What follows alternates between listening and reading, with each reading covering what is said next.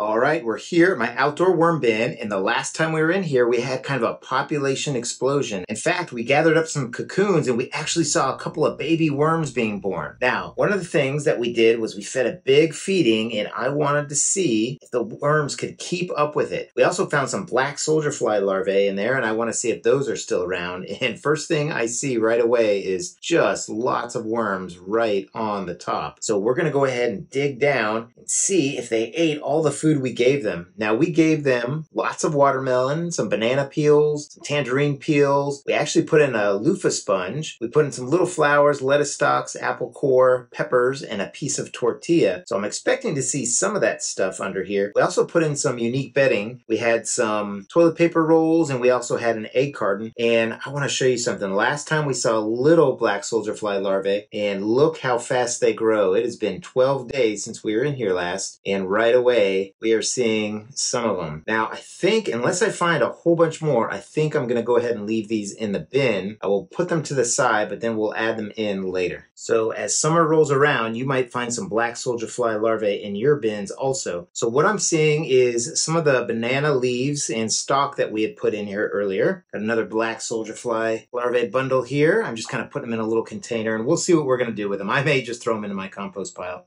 It has been 12 days since we were in here last, so I'm really impressed with how well they have eaten all the food in here. And certainly these little black soldier fly larvae are helping them out. I think because we're so early in summer and I'm seeing a bunch of them, I'm gonna go ahead and take those out. I think I made a decision there. But check this out. Now when we harvested, I like to harvest right before I feed every time. I just take about three pounds of castings out. We counted out 522 worms. So I know the population is just continuing to boom, and I am definitely seeing it within this bin. I think this bin has somewhere between four and 5,000 worms in it. So right here in the center, the moisture is outstanding. They're getting to all the kind of big bedding that I put in there. They've eaten all the food, so we are going to give them a pretty big feeding. Now what I brought out here is mostly fast food, so I may have to run inside and get some slow food, but things are looking great. So what I'm going to do is I'm going to go ahead and mix everything up, and if I run into something cool like this, this is our pumpkin stem that has been in here for absolutely months and I'm going to kind of dig in real quick just to see what I can do here. I'm able to break some stuff off. Looks like we've got a worm right there. So it is a little bit soft in there, so that's good. A little bit soft here, and I don't know if you can see the glistening, but there is some moisture that's being retained, so they're just going to keep working it. It may take up to a year to do this. Oh my gosh, on the sides, on the sides, tons of worms. Look at that. That is just incredible. Tons of worms in here. The other thing is there are so many castings in here. We put in a lot of bedding, yet they have just turned this to vermicompost so quickly. That's the one thing about this bin. It is coming up on three years old and it just has so many great microbes in it. So when I put stuff in here, we've got the worms attacking it, but three years worth of, you know, a microbiology ecosystem in here is just taking any kind of food and immediately just attacking it, making it easier for the worms to turn it into vermicompost. So one of the things I have noticed is that my piles of food aren't heating up very much. So that is good. And I attribute that to how many worms I have instantly attacking it as it goes in. And here is just another mango seed with lots of baby worms embedded in it. Really cool right there. See a couple right there and then a bunch right there. A little piece of plastic embedded in there. Take that out.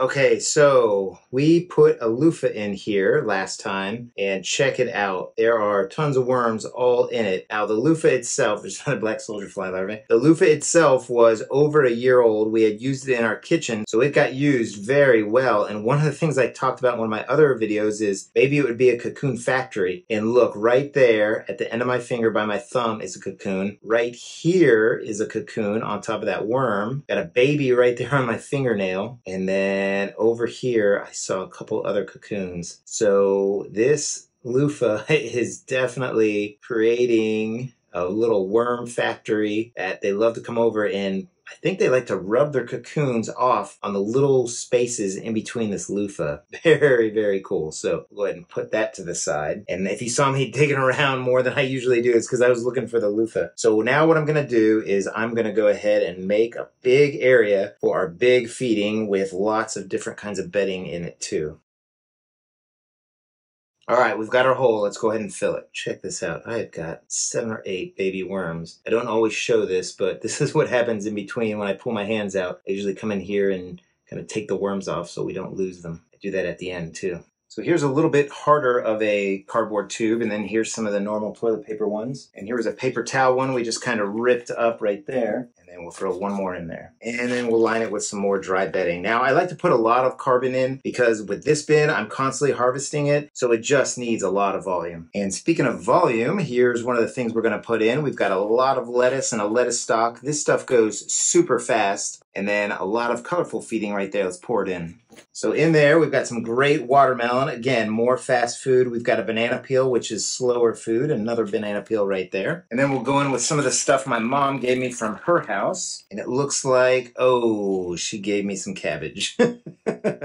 too soon, too soon. I don't know if you saw a few videos ago. We put a whole head of cabbage in here, but this one is a little more broken up and I'm going to kind of break it up more. So the good thing is it's frozen and I tore it into as many pieces as I could. And then one more bag will go in right there. So this looks like, oh, I've been wanting to do this. So this is some homemade French toast that we made. I'm going to put this down a little bit further because this has some eggs in it. And here is a huge mango that she gave us. So go ahead and put some holes in it. And no worries about putting cabbage in. You can put it in. We just happened to have put a whole head of cabbage in and it kind of stank things up because it was just too much for the bin. So under here, I'm going to go ahead and put in this French toast right there. And we'll put this stuff on here. Now, this is a lot of nitrogen, but it is fast, so I think the worms will be able to get to it quick. But I am going to come in here and check on the heat for sure. Let's kind of put this one right down there. This is all previously frozen, and then I let it thaw out mostly, so you can see it should not harm the worms at all. And I'm going to put a whole bunch more cardboard right there. So in we go with cardboard. We'll put even more in, and that might help to clean off my hands too go. Anybody notice I missed something? I forgot to put the amendments on. So we are just going to kind of spread this out and we'll just add the amendments right into here. So first thing we'll go in with is some worm chow, just expired grains and oats from my pantry that I like to put into here in my worm bins instead of into the garbage. And then we'll go in with some coffee and tea grounds. Again, just another food source for them, and it helps me to do something more productive with my coffee grounds and get the nutrients into the garden by putting them into my worm bins. And then finally, we'll add some pulverized eggshell, and it's just some grit for their gizzards, helps them make their food smaller so they can digest it. And I just blend it up in my Magic Bullet blender after I rinse them and dry them. All right, so now we can cover it up with all this cardboard. I'm going to put some more in here. There we go. And after we're done here, we're also going to add some water. I'll do that off camera. Let me go ahead and try and add from the sides into the top here because we are going to do a 522 worm worm release right here on the top. And you can see from me pulling up here, there's just tons of worms already in this bin. Absolutely love it. All right, so let's see. There we go. I think that's probably good enough for a worm release. Got some room to go in there. So here we go, 522 worms. Uh, uh, uh.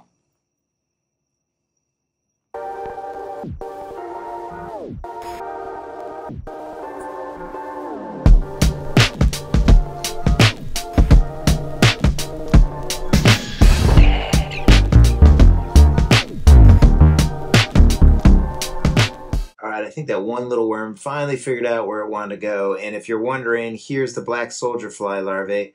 I speed up the worms like maybe 40 times, and here it is normal time. And here it is double time. All right, so those are going into the compost. We're gonna add a whole bunch of more shredded cardboard here. Put it on the sides and just everywhere because it is summertime. The population is really expanding. I wanna give them a whole bunch of room to expand into. So again, like I said, summer in Florida, I'm gonna go ahead and come in here and check on the heat and I'm gonna water this in after we're done. So I hope you're having a great day. I hope your worm bins are doing really well. So happy vermicomposting, everybody. Take care now.